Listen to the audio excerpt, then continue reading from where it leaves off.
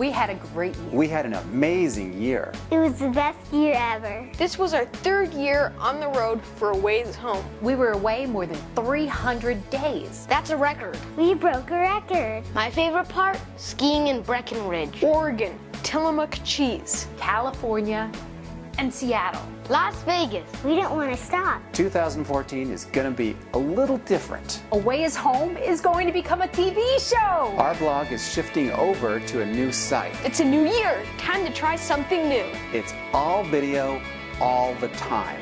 We're going places. Where do I want to go? Paris. Anywhere it's warm. What are you talking about? I want to go skiing in Utah. New York City. I'd like to get out of the country.